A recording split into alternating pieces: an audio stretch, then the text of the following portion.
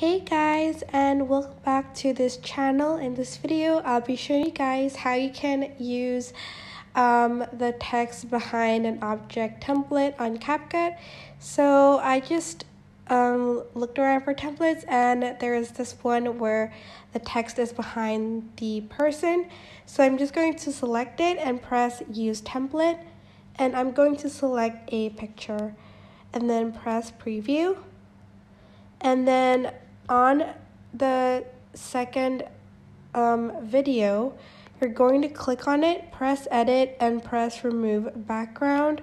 Don't forget to um, press remove background until you can see that the until you can see that the remove background text and icon is red.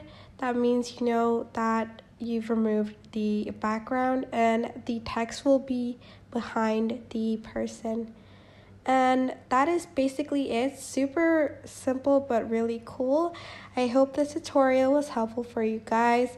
Don't forget to like, comment, share, and also subscribe to this channel if you haven't done that. If you have any questions, just leave it in the comment section down below and I will try my best to answer them all. Thank you so much for watching. Bye!